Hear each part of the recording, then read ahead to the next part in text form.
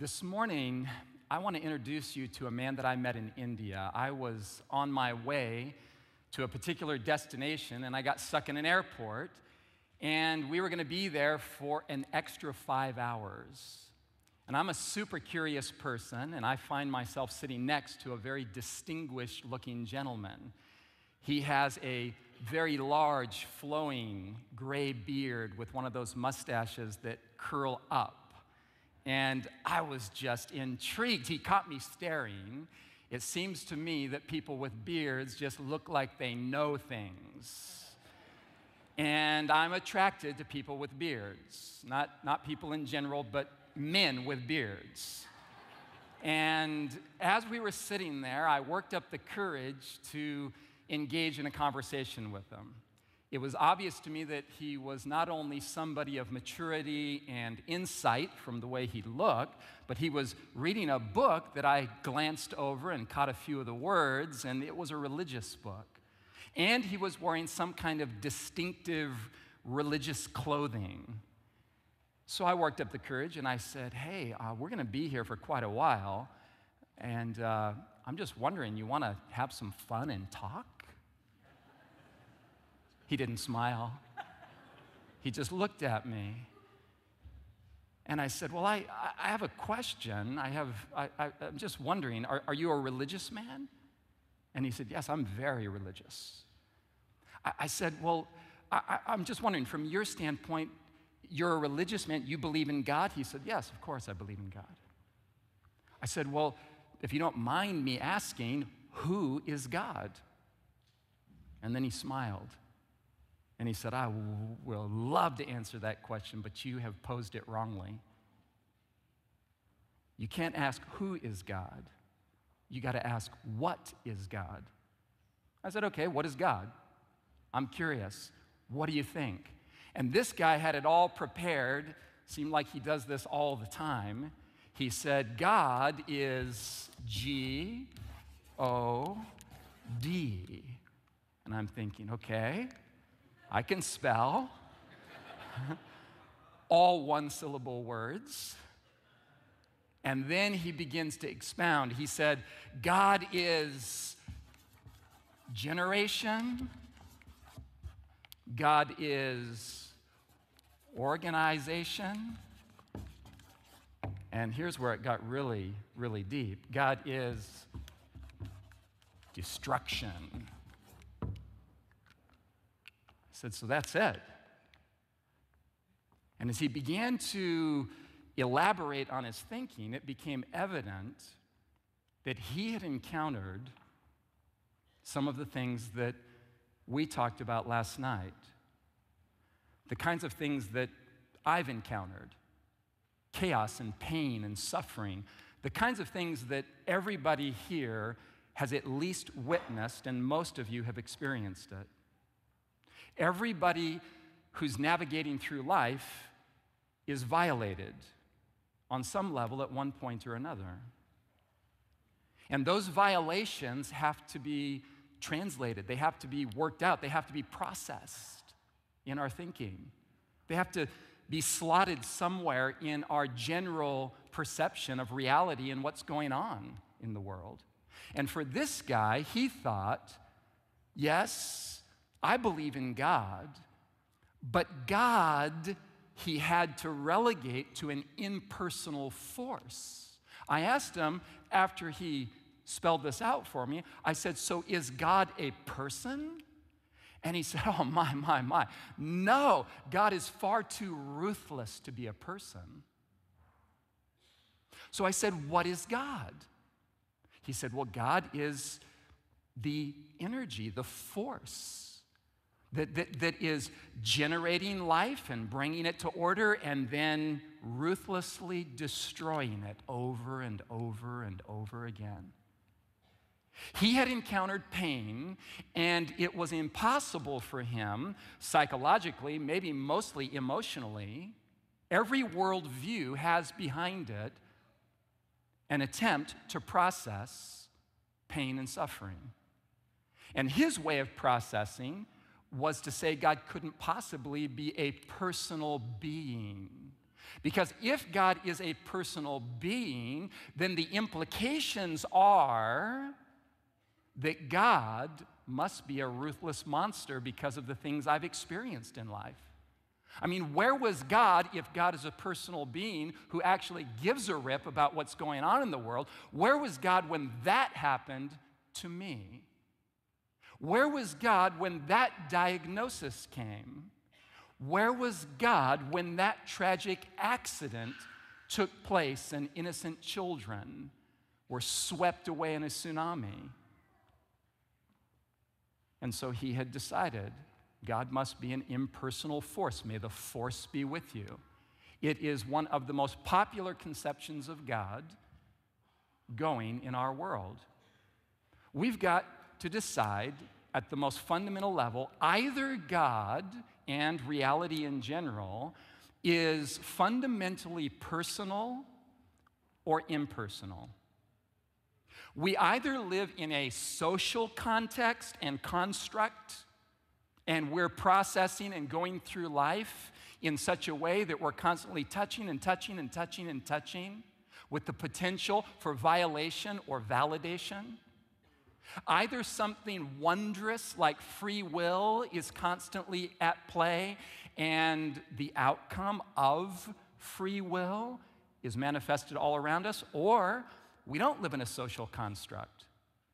We live in a hyper impersonal construct, a construct of reality in which every man and woman is for him or herself. Move, follow, or get out of the way me, myself, and I. I just happen to be my favorite person. Step aside.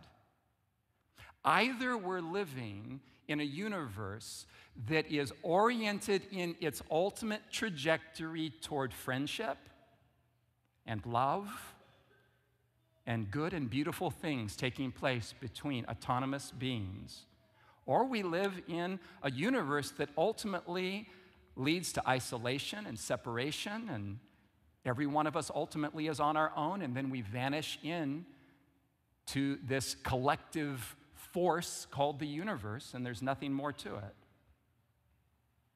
The Bible presents a picture of God's character that I have found to be extremely helpful, not because the Bible says it so much. Now, follow me. Not because the Bible says this is the way it is, and then I have to bow to it and yield to those declarations on the page because the Bible is exerting authority over me. Now, as a believer, I'm on the inside of that book now, so it does have authority over me. But before I'm on the inside of that book, it needs to make rational and emotional and relational sense so that I can get on the inside of that book and have it make sense for me as an authoritative source of information. So when I'm on the outside of belief in that book, I'm noticing intuitively certain things going on in the world. I'm noticing, as I shared with you last night, I'm noticing a lot of pain and chaos and relational breakdown and disintegration. And I'm noticing that in myself, I'm reacting against all of that violation and pain. I know, and nobody's told me so, but I know that there's something fundamentally wrong with relational violation. And knowing that, I also know something else.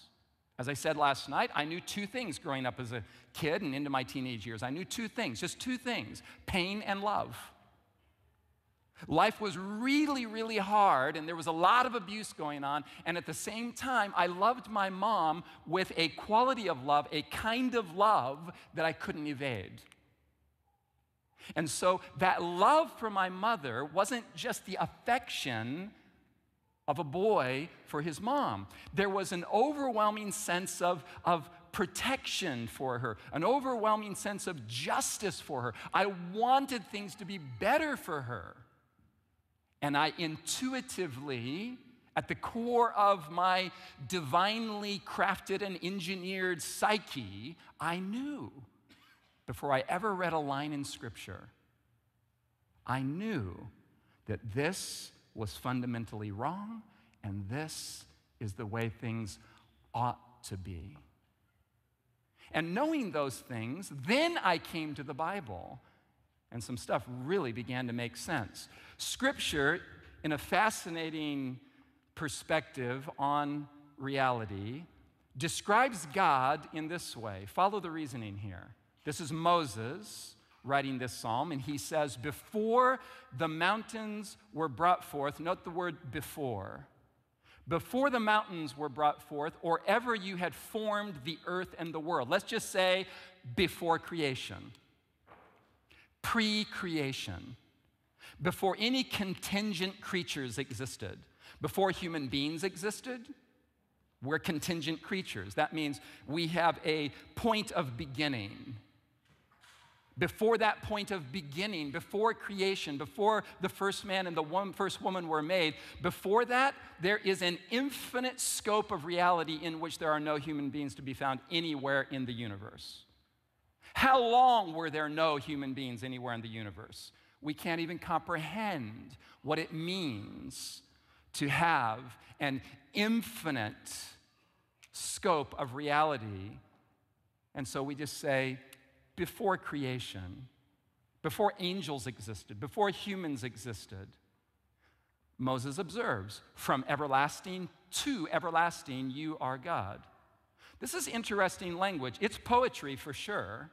Poetry has the power to access deep concepts with a minimum of words.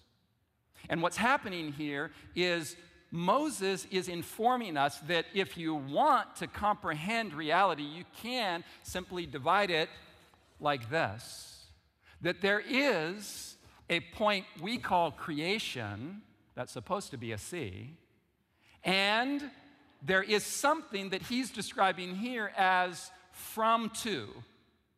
From everlasting to everlasting. Let's just call this direction, let's call it eternity past. And let's call this direction in the trajectory eternity, what do you think? Future, that's right. Now, this is where you and I begin to exist.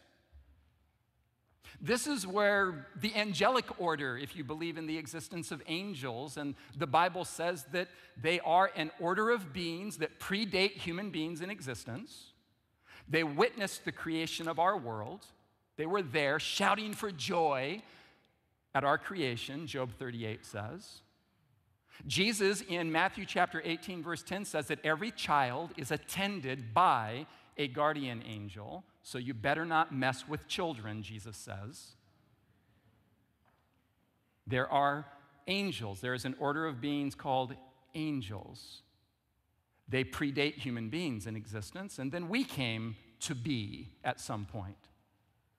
And that's creation. Before that, our question this morning, our question this morning is simply this before creation, what in the world was going on? What was happening in the universe? If God existed and He alone straddles eternity past and eternity future, if God alone, to quote Isaiah, inhabits eternity, if God alone, the Apostle Paul, has immortality in himself, natural to his being, it's logical for us to ask this God before I existed, were you bored? Before we existed, what were you doing? For all eternity past, was God twiddling his thumbs? Was he pacing the universe? Did the universe exist? Did God exist in some transcendent realm, if you can even use the word realm, that defies time, space, and matter so that the universe itself is God's creation and therefore he exists outside of it, wherever that is. So, God, what were you doing for all eternity past? It's fascinating. Moses wants us to understand that God has existed for all eternity past, and the Bible goes on to teach us that all of us, we have the privilege, if we so choose, to inhabit, to live and to occupy all of eternity future. I mean, we're minuscule compared to God with regards to our existence. But what an amazing thing when Jesus comes along and says, Anyone who believes in me will never die. You'll die the first death from some physical cause, but you will never ultimately die. You'll be resurrected and you'll just pick up where you left off and march straight into eternity future. You'll inhabit eternity future. But God, what's going on in eternity past? What's going on there? Well, interestingly enough, this is one of the most fascinating for me titles for God in Scripture. Daniel chapter 7 and verse 9 calls God the what of days? The what's that word? Ancient. So let's just probe this for a minute. Is God old? Yeah, I mean, like really, really old. But is God elderly, Jose? You're not sure. Does he have his teeth in a jar by the bed? Is his hairline receding? Does he have aches and pains? Does entropy have its way with God? No. If God, this is hypothetical, of course, hypothetical. If God were just to appear right now before all of us and do that thing that we sometimes do before we're 40 hey, hey, guess my age. If we just by observation were to take a look and guess God's age, we might say, I don't know, 22, 26 at the max. God is ancient, that means God has always, always existed. But God's not elderly in that God is eternally young. He experiences nothing like deterioration. He's just vibrant, eternal youth. Now, Paul blows our minds, and he says that that ancient of days, that ancient eternal past, whatever it is, was before there was something, before there was time. We can't comprehend what that means because we're time bound creatures, aren't we? All we know is succession. This event follows the next and the next, and we're always building history behind us. Things are happening, and we are living in a linear existence. But God doesn't live in a linear existence, I guess. I guess, I guess God existed as the ancient of days before there was time. The Bible calls it eternity, eternity past. God existed for all eternity past in some kind of non time region of reality. And again, the question that begs to be answered what was God doing? Ancient and eternally young. This God. When you're young, you have a lot of energy, and God's always been young. God has a lot of energy.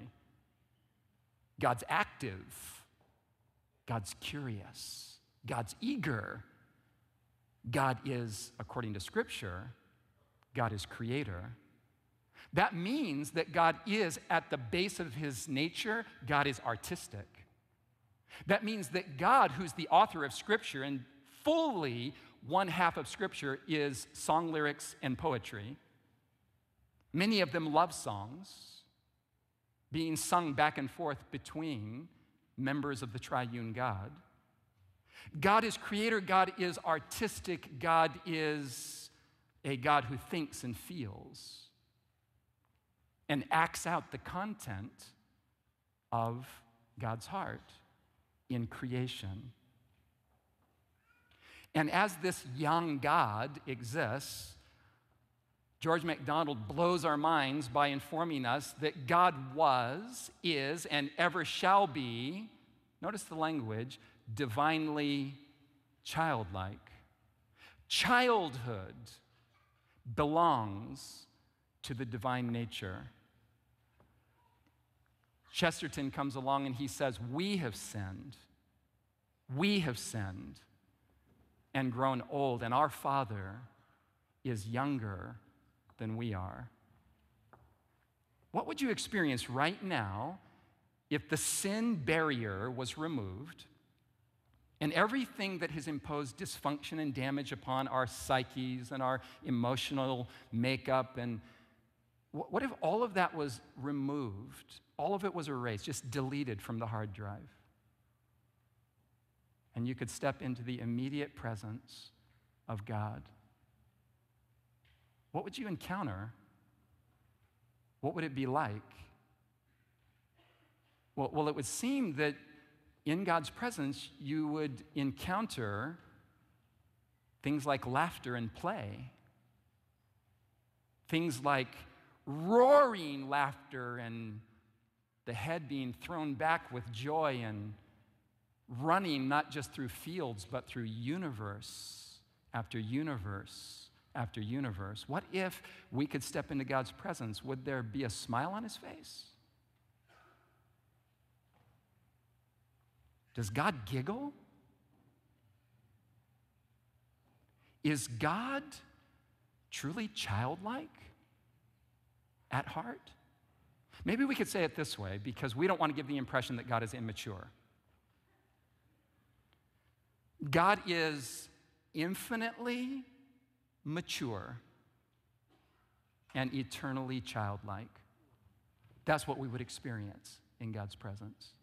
It would be total, over the top, off the charts fun to be in God's presence. And He would have all kinds of ideas of what to do. And you would never be bored another nanosecond in your existence. My son Jason and I were standing with those slippery items called skis beneath our feet on top of a snow covered mountain with a black diamond before us, about to let gravity have its way with us. Oh, I love it. And he says to me, lifting his goggles, because it was Sunday and we had just been to church, Dad, is heaven going to be like the longest church service ever? is heaven going to be non-stop, stand still, don't move, don't say a word, be quiet, and sit down, shut up, in color. It's Sabbath. Is eternity future going to be filled with boredom? Or is it going to be filled with over the top, off the charts, glorious fun in God's presence? Well, we get a picture of that by looking into eternity past.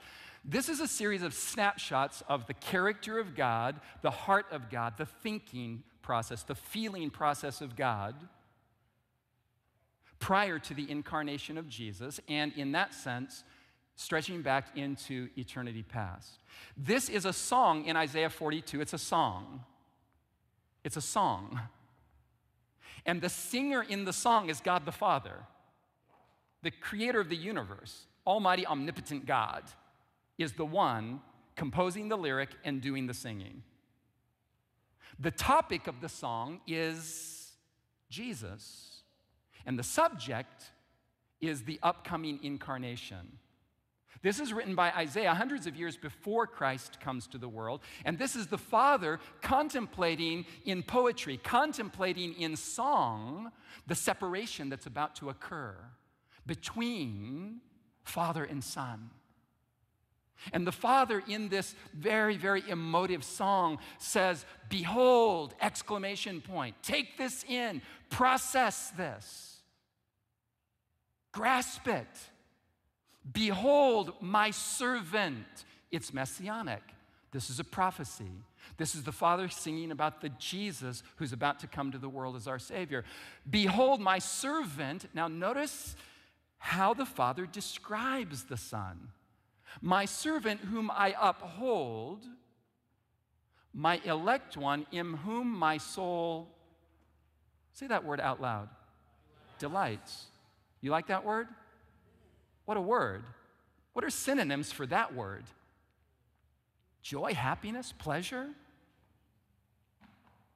This is God the Father contemplating sending his Son to the world to be our Savior, and he's in an emotional moment here, and he's saying, I want you to know, humans, I want you to know that the one I'm sending to you, the one I'm parting with for you, is the one in whom my soul delights. I really, really like him. We've spent, in fact, all of eternity past together. I like him. I love him. We enjoy one another's company. Now, I know compared to God a little bit about love. I've been hanging out with the same girl since she was 13 and I was 14, and I dig this chick. And it just gets better and better and better as the days go by. And I'll tell you this I've discovered that even on the human level, and we're just fragile, dysfunctional, messed up humans. And I'll tell you this love is exponential. It's the only reality in circulation in the universe that grows and grows and grows and expands with exercise and has no ceiling, no floor, no walls. You can always love somebody. This is a fascinating thing about love. If you're single, I highly recommend it. You should get married, if you can, to the right person. I will tell you this love is amazing. You can always love somebody more than you ever have before. Ever, ever, ever. And the only reason why we can continually move into a deeper, more textured, more wonderful, beautiful love is because there must be some zenith of love out there somewhere. There must be some apex. There must be some place where the whole deal exists. And we're recipients of it and continually reciprocating with it and that's God. God is a God who finds delight in relationships. Now, check this out. This is Jesus. I don't have time to prove to you that this is Jesus, but just as the Word, capital W in John 1, is Jesus, the wisdom, capital W, personified wisdom in Proverbs, Paul tells us in 1 Corinthians chapter 1, verse 30, 31, is Jesus. This is Jesus in Proverbs contemplating the Father now. We just read the Father contemplating his relationship with the Son. Are you with me? Now we're about to read Jesus contemplating his relationship with the, what do you think? With the Father. And Jesus says of that relationship in eternity past, check this out. Jesus says, I, that's Jesus, was beside him, the Father, as a master craftsman they're contemplating the creation. How are we going to do it? What's it going to look like? How about a platypus? They're thinking it through, they're processing. I was beside him as a master craftsman, and I was daily his delight, rejoicing always before him. This sounds super fun. And then another version New English Bible translates it I was at his side each day, his darling and his delight. Check this out playing continually in his presence. Playing? Yes, playing. Another version says it this way always enjoying his company. That's what was going on. Hey, God, what were you doing in eternity past? Ancient of days, eternally young, infinitely mature, and childlike God, what were you doing before I existed? Well, we were enjoying one another's company. We were hanging out. We were friends. And it was really, really great. This is the biblical picture of God in one snapshot after another. Check this out. Zechariah 13, 7 is the Father again articulating separating from Jesus for our salvation. It's going to be a painful ordeal you pick up on in the song. And the Father says, Awake, O sword. That's a metaphor for the sword of justice that's going to be driven through the heart of Jesus for you and me. Awake, O sword, against my shepherd. And here's the part I want you to catch. This is the Father talking about the Son against the man who is my, what's the word he uses? My companion. The King James Version says, my fellow. The New International Version says, the one who is close to me. This is a tight relationship. When we come to the New Testament and now Jesus has come and he's incarnate in the flesh, it's no accident that the language that is used to describe his point of origin, where did he come from? Where was he before he came to this world? The language is intentionally intimate. John 1:18, no one has seen God at any time. The only begotten Son who is in the bosom of the Father, he has declared, declared him. The bosom of the Father? I have a lot of guy friends. I don't want any of them near my bosom. We don't use this kind of language. That's, that's 1940s, 1950s American talk back when dudes were bosom buddies.